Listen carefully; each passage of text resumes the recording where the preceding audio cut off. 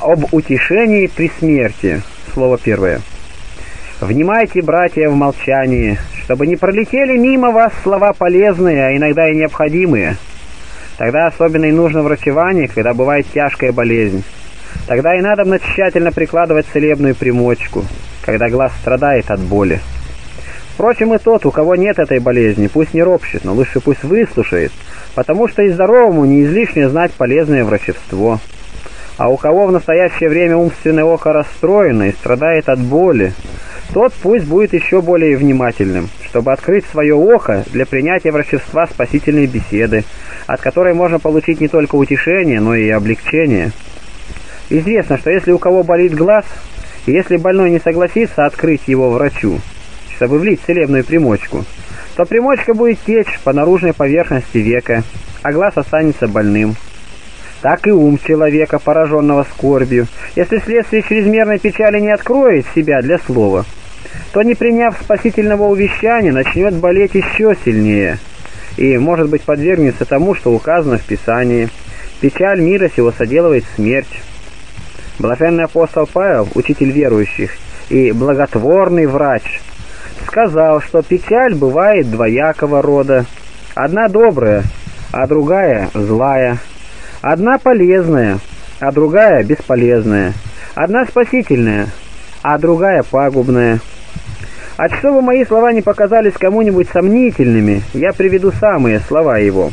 Он говорит, «Печаль по Боге соделывает покаяние во спасение, а печаль — доброе это». Затем следует печаль же мира сего соделывает смерть. Это печаль злая. Посмотрим же, братья, полезна ли или бесполезна та печаль, которая теперь занимает нас, которая теперь наполняет нашу грудь и слышится в самом голосе. Может ли она принести пользу или вред? Представим, что лежит бездыханное тело, лежит на столе человек без человека, члены без духа. Ему кричат, а он не отвечает. Его зовут, а он не слышит. Лежит с бледным лицом, с измененным видом, в котором выражается самая смерть. При этом вспоминается его непрерывное молчание, удовольствие и польза, которые от него были или могли быть. Вспоминается его отношение к другим, приходит на ум его приятнейшие слова, долговременное обращение с ним. Вот без сомнения то, что извлекает слезы, вызывает рыдание и повергает всю душу в глубокую печаль. Против этого столь сильного, столь крепкого оружия скорби надо прежде всего поставлять ту мысль, что все рождающееся в этом мире необходимо должно умереть. Это закон Божий и неизменный приговор, который изречен был праотцу человеческого рода после его грехопадения в словах Божиих. «Земля ты, и в землю возвратишься». Что же случилось нового, если человек, на это рожденный, выполняет закон и приговор божественный? Что нового случилось, если родившийся от смертных соответствует своей природе в том, что чего избежать не может? Нет ничего необыкновенного в том, что существует издревле. Нет ничего неслыханного в том, что случается каждодневно. Нет ничего особенного в том, что всеобщее. Если мы знаем, что деды и прадеды наши прошли этим же путем смерти, если слышали, что наконец сами патриархи и пророки от Адама первозданного переселились из здешнего мира не без смерти, то возведем душу свою из глубины печали. Ведь здесь человек отдает долг, которым он был должен. Как же можно печалиться, когда отдается долг? Подлинный это долг, которого невозможно заплатить никакими деньгами. Долг, от которого не избавляет ни мужество, ни мудрость, ни могущество, и которого не могут отклонить от себя, наконец, и сами цари. Я, конечно, посоветовал бы тебе усилить свою печаль, если бы это дело происходило от нерадения или от скупости, тогда как можно было бы тебе своими средствами откупиться от него или отсрочить его. Но если это Божие определение, твердое, и неизменное, то мы напрасно скорбим и спрашиваем себя, почему такой-то умер, когда написано «Господня, Господня исходящая смертная». Псалом 67:21. Таким образом, если принять во внимание это общее условие нашей жизни, то отягченное око сердца начнет чувствовать облегчение, как бы от приложенной к нему первой примочки. 596. Я знаю, скажешь ты, что это общая участь. Знаю, что тот, кто умер, заплатил долг. Но я представляю происходившее от него удовольствие, припоминаю отношение его к другим, вспоминаю об его обращении. Если ты поэтому предаешься скорби, то ты действуешь ошибочно, а не руководишься разумом. Ты должен знать, что Господь, который дал тебе это удовольствие, может дать и другое, лучшее. И тот, кто доставил тебе такое знакомство, имеет достаточно силы вознаградить тебя другим образом. Что касается пользы, то ты как смотришь на свою пользу, также должен думать и о пользе умершего. Может быть, это для него полезнее, как написано. Был восхищен, чтобы злоба не изменила разум его, ибо угодно Господу душа его, и поэтому он поспешил восхитить его от среды лукавствия. Премудрость Соломона 4.11.14. А о сообществе с ним что мне сказать? Когда самое время приводит его в такое забвение, как будто его никогда не бывало.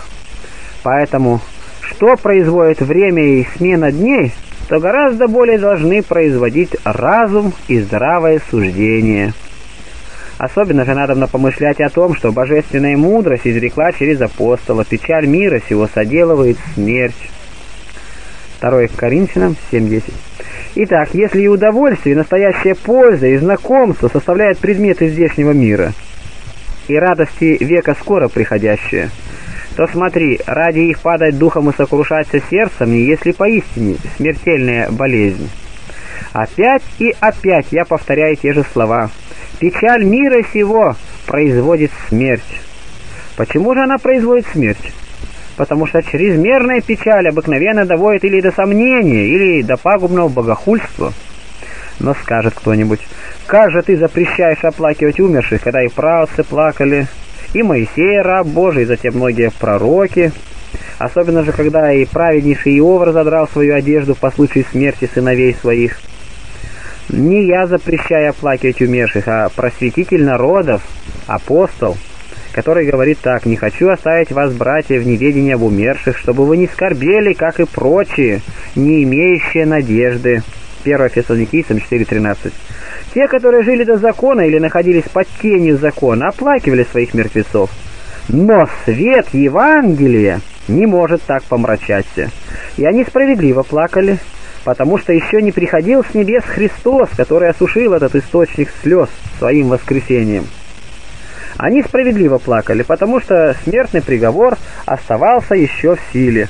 Они справедливо проливали слезы, потому что еще не было проповедано о воскресении хотя тогда святые ожидали пришествия Господня, но между тем оплакивали умерших, потому что еще не видали того, кого ждали. Наконец, Симеон, один из ветхозаветных святых, который прежде также беспокоился о своей смерти, после того, как принял на руки Господа Иисуса еще младенцем во плоти, с радостью приветствует свою кончину и говорит, «Ныне отпущаешь раба твоего, владыка, с миром, яко видите очи мои спасение твое». О, блаженный Симеон! Увидев то, чего ждал, он уже стал смотреть на свою смерть, как на мир и успокоение. А вот, скажешь, читается в Евангелии, что плакали о дочери начальника синагоги, и сестры Лазаря оплакивали Лазаря. Но они рассуждали еще по ветхозаветнему закону, потому что еще не видели воскресения Христова из мертвых. Плакал, правда, и сам Господь о Лазаре, уже погребенном, но не для того, чтобы подать пример оплакивания умерших, а чтобы своими слезами показать, что и он воспринял истинное тело. Или, вероятно, он по человеческой любви оплакивал иудеев, которые, несмотря даже на такое чудо, не имели уверовать в него. Ведь не могла быть причиной слез смерть Лазаря, о котором сам Иисус сказал, что он уснул, и обещал пробудить его, как и сделал. Итак, древние имели свои нравы и свою немощь, как жившие прежде пришествия Христова. Но когда Слово стало плотью и вселилось в нас, когда приговор, изреченный первому Адаму, был разрешен последним Адамом, когда Господь разрушил нашу смерть своей смертью и воскрес из мертвых в третий день, то смерть уже стала не страшна для верующих. Не страшен Запад, когда пришел Восток свыше. Сам Господь, который не может говорить лжи, взывает так «Я есть воскресение и жизнь. Верующий в Меня, если умрет, оживет». И всякий живущий и верующий в меня не умрет вовеки». Иоанн 11.25.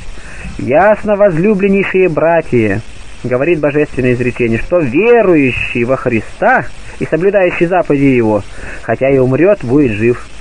Это изречение принимая и содержа всеми силами веры, блаженный апостол Павел и предлагал такое увещание. «Не хочу оставить вас, братья, в неведении о усопших, чтобы не скорбели».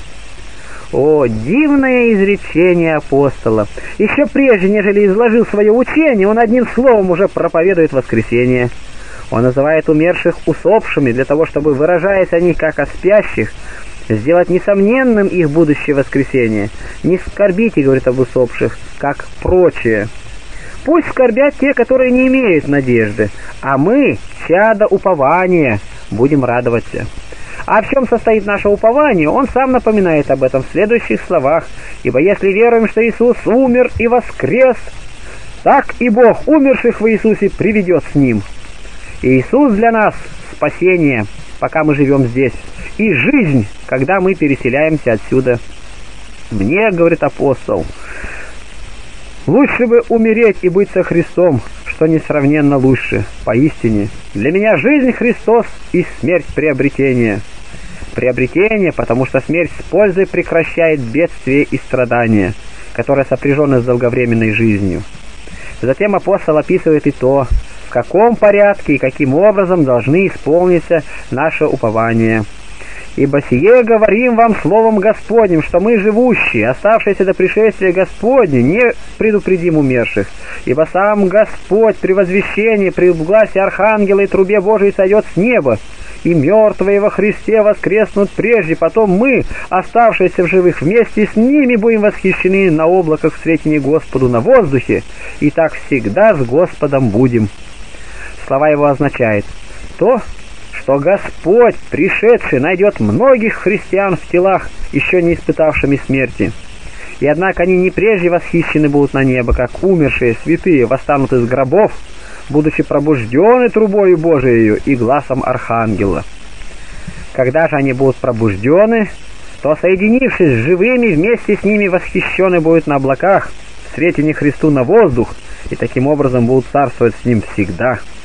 Нельзя, конечно, сомневаться в том, что тела, имеющие тяжесть, могут подняться на воздухе, когда по повелению Господне Петр, имевший такое же тело, ходил по волнам морским, и Илья для подтверждения этого упования также был восхищен на огненной колеснице по этому воздуху на небо.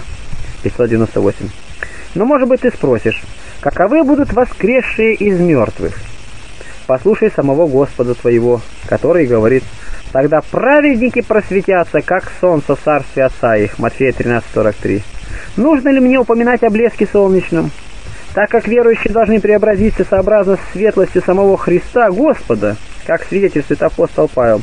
Наша же жизнь на небесах, откуда ожидаем Спасителя нашего Господа Иисуса Христа, который преобразует смертное наше тело, чтобы оно было сообразно славному телу славы Его.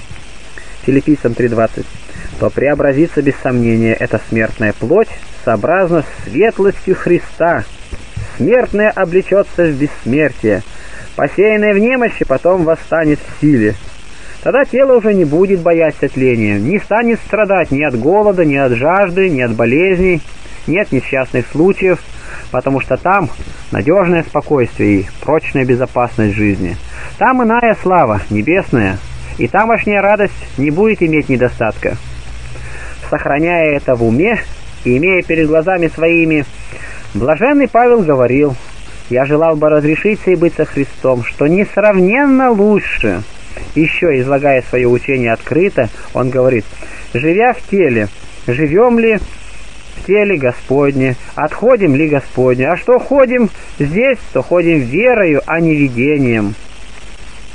Что же делаем мы, маловерные, предаваясь скорби и отчаянию, если кто-нибудь из наших возлюбленных переселяется к Господу. 2 Коринфянам 5.6.